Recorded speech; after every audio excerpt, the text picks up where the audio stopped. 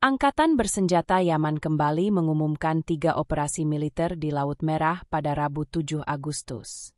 Dikutip dari Al-Mayadeen.net, Houthi berhasil menargetkan kapal berbendera Liberia, Konsip Ono di Laut Merah.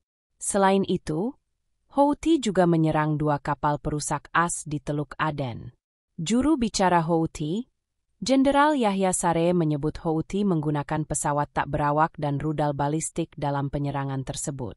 Sare mencatat ketiga kapal itu menjadi sasaran lantaran melanggar masuk ke pelabuhan Palestina yang diduduki. Ia juga menekankan bahwa militer AS di wilayah operasi Angkatan Laut yang mendukung pendudukan Israel sebagai tindakan permusuhan. Oleh sebab itu, Houthi tidak akan ragu menargetkan semua gerakan-gerakan yang ada di Laut Merah.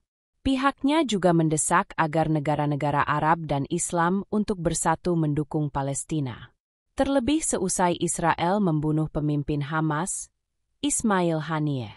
Sementara, The Jerusalem Post melaporkan kapal tersebut tidak terkena serangan. Manajemen kapal kontainer pun menyebut awak kapal selamat seusai serangan Yaman. Download Tribun X sekarang. Menghadirkan lokal menjadi Indonesia.